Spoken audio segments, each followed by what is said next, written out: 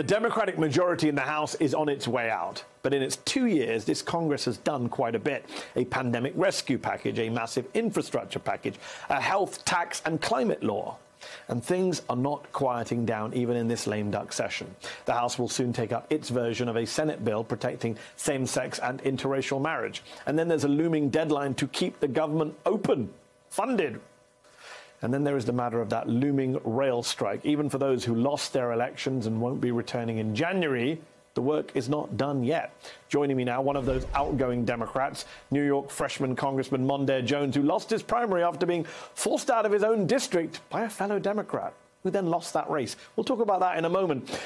Congressman, welcome back to the show. The House voted today to impose that union deal and separately in favor of seven days of paid sick leave for rail workers. Why can't rail companies making billions in profits afford to pay people sick leave? Are we in the 21st century or the 19th one? We're in the 21st century, thank God. And that means that we know rail companies can't afford to do this. Uh, we know that rail companies have made record breaking profits this year alone, and certainly it did very well for themselves last year. And they can afford to do seven days of paid sick leave for their workers. It's not going to break the bank for them, and it's what dignity requires. Yeah, it's what dignity requires, but our American system, our economy, uh, often requires depriving workers of dignity. Here's what's interesting you have a president, Joe Biden, leader of your party, who claims to be the train guy, he claims to be the labor guy, the union guy. Will his administration and Congress imposing a deal without paid sick leave against the will of unions representing a majority of rail workers, will that end up being a black mark on his legacy as a pro labor president? Well, look, there's been a lot of conversation around this, right? We know that eight of the 12 unions uh, were perfectly fine with the negotiated agreement that Secretary of Labor uh, Marty Walsh was part of. But we also know that there were some deficiencies with that agreement. Uh, and it's why four of those 12 unions did not ratify that agreement. That's why we're pushing for this. I understand that the White House is nervous about what objectively will be devastating consequences if this agreement is not enacted.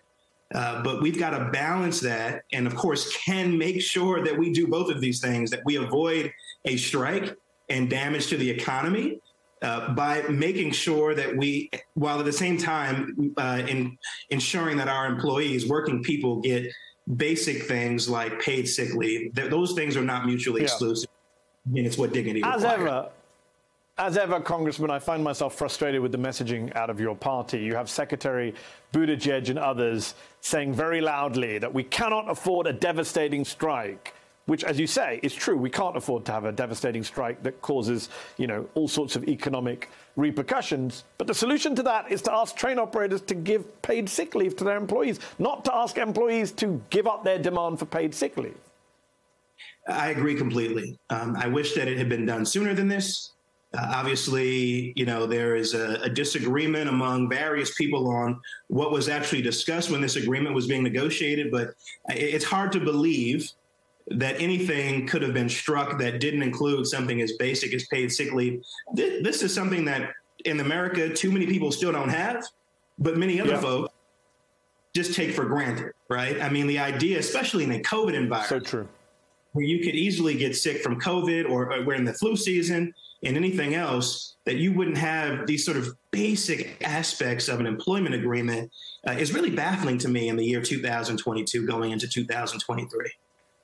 It's baffling to me as an immigrant to this country who comes from another Western country where all this stuff is taken for granted and legally guaranteed. And it amazes me how many Americans still don't realize what an outlier this country is when it comes to basic stuff like paid sick leave, paid time off work, paid vacation. To read that quote in the Post did my head in this week. Use your vacation uh, to go see a doctor. Ridiculous. Um, Sticking with Democratic messaging and my frustrations with it, in your term in Congress as a freshman, you spent a lot of time pushing for Supreme Court expansion, for Supreme Court reform, a big issue which Democrats have kind of dropped the ball on a while ago and never really have prioritized in the way that Republicans have. Even now, your fellow Democrats haven't really gotten on board with Supreme Court reform, certainly not with expansion. Uh, the administration has run a mile from it. And yet you have Justice Samuel Alito accused of leaking a decision.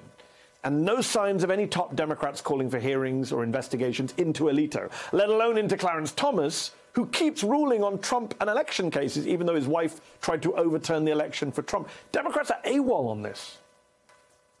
You know, it is wild to me that the New York Times decided to drop its blockbuster expose uh, detailing credible allegations against Justice Sam Alito uh, that he leaked the authorship and outcome of the Hobby Lobby opinion from 2014 to right wing donors. Uh, and, that, and that that article was dropped on a Saturday, uh, and frankly, still has not gotten the kind gotten the kind of attention exactly. that it is. A real crisis, and frankly, the crisis pre-existed our knowledge of this particular incident uh, you know, how many decisions depriving us of fundamental rights that we had just taken for granted in this country are required before a number of my colleagues feel an urgency to do something about it that will be meaningful. Uh, in the case of my bill with, with Jerry Nadler and Hank Johnson, adding four seats to the Supreme Court, but also per a bill that I also share with those individuals, enforcing or creating enforceable criteria when it comes to recusing yourself from cases that you have no business presiding over, uh, which is something that uh, you know, Justice Thomas should not be doing the case of, of, of, matters relating to January 6th, given the activism, the far right activism of his wife, Ginni Thomas. Uh, and we also know that there is no binding code of ethics uh, with respect to the yeah. Supreme Court, which is something that I think was shock most Americans. So we've got crises on all fronts, both as a matter of ethics and then as a matter of substance, because you've got far right partisan hacks comprising the 6 3 supermajority that was frankly unethically obtained when you look at what Mitch McConnell did over the past several years in depriving yes. the elected President Obama from appointing Merrick Garland, for example, to the High Court. On that basis, would you call this Supreme Court an illegitimate court? Look, I, there, there, are a lot of names that can be appended to, to this court. Certainly, the conservative majority has been operating in illegitimate ways when you look at uh, its complete uh, abdication of responsibility in terms of its own precedents, uh, when it changes its rationales uh, to suit uh, partisan outcomes that you know they want to achieve without going through the rigorous analysis that they want everyone to believe that they're actually undertaking when they decide these cases. Uh, certainly, yeah. the way that the court had a vacancy for 14 months to simply deprive President Obama of, of, of getting his nominee confirmed. Even a hearing was not given to Merrick Garland, who, of course, now is the Attorney General. I and, and I think you would much prefer him on the Supreme Court than as Attorney General of the United States. Uh, yes. Good point. That would have that would have worked out much better in many ways. Earlier this year, Congressman, the head of the Democratic Congressional Campaign Committee, Sean Patrick Maloney, decided to run in your seat, the 17th district in New York, forcing you to run and lose elsewhere in New York in the Democratic congressional primaries. He then lost that seat in the midterms, becoming the first DCCC head for 30 years to lose their seat. What did he do wrong? And do you think you could have won that seat if he'd just left you alone in that district? Well, as you know, Mehdi, redistricting has been a nightmare in New York State, uh, and there's plenty of blame to go around, not just with respect to the the outgoing DCCC chair, uh, but of course I would have won my seat. I represent 70% of it as of now, and it's a district that knows me, that loves me, a district, frankly, whose constituents are devastated uh, by what happened in redistricting. Uh, and it's a district that, you know, really wants to see someone like me represent it. And when I was not on the ballot, I think a lot of folks stayed home. I know a bunch of Democrats who simply could not bring themselves to vote uh, for the Democratic nominee because of their perception of what happened to me in the race, uh, and so on and so forth. But here's the thing. Uh, 2024 is a very important moment for this country when it comes to saving our democracy. There's going to be a presidential election. There are going to be opportunities to take back the House. Uh, it's difficult to imagine doing that without flipping the seat that I currently hold, a district that Biden carried by 10 points.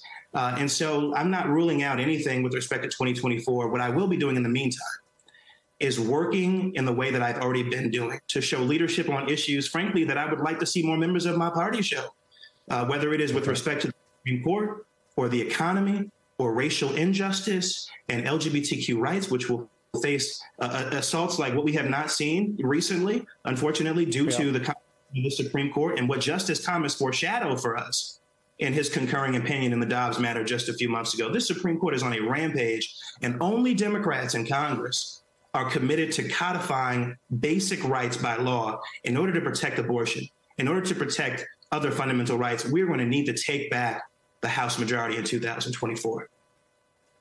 So the person who's going to have to take that back, the new leader, is Hakeem Jeffries. On Wednesday morning, Congressman Jeffries was elected leader of the Democrats in the House. He's the first black man to lead a party in Congress. And he's a New Yorker, but he's also known for berating progressives. You're a black man, a New Yorker, and a progressive. So what do you make of leader Jeffries? Is he the right man for the job?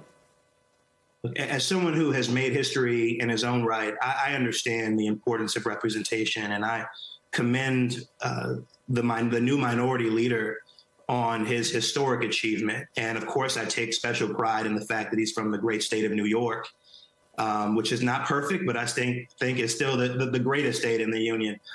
Um, look, uh, it remains to be seen uh, in a Congress that will have more progressives than ever before uh, what his leadership style will be, how he'll get along with this ideologically diverse caucus um, whether he will mentor and create space for some of the younger, newer members who have, uh, you know, great passion. Uh, and at times will disagree, I think, with certain approaches that he takes, and and and so that's that's that's an an open question, and, and I look forward to seeing you know him hopefully rise to the occasion and, and be the leader um, that I think is possible for him to be. And one last question, Congressman. You're leaving the House in January, having been elected as one of the first two openly gay black men in Congress. And one of the last bills you'll be voting on in the House, possibly as soon as next week, is the Respect for Marriage Act, which provides federal protections for same sex and interracial marriage. It's passed in the Senate on Tuesday. How landmark a piece of legislation is that, in your view? It would be huge, Mehdi. I mean, it was just a few years ago that the Supreme Court struck down the Defense of Marriage Act uh, and unfortunately, due to the far right activism of this 6 3 supermajority, we can expect over the next several years for the court to reverse its own precedents, whether it is with respect to marriage equality uh, or the ability of employers to discriminate on the basis of sex and gender in the workplace, and so on and so forth. So, what we're doing with this bill is protecting both uh, marriage equality and yes, interracial marriage, which may well be on the chopping block as well. Who would imagine that we would be uh, still litigating these issues in the year 2022? That is that is what yeah. the Republican Party has wrought. Um, I will say I, this. I will say this: the Respect for Marriage Act, and I'm proud to have, have co-authored it with Jerry Nadler. It, uh, it, still would leave about a dozen states in this country uh, as places where the federal government is not in the position of respecting the marriages performed in those states because they cannot be performed in those states. There are about a dozen states or so that still do not allow for marriage equality. And so we still have work to do even after we pass this legislation, as historic and as important and as life changing as it will be next week.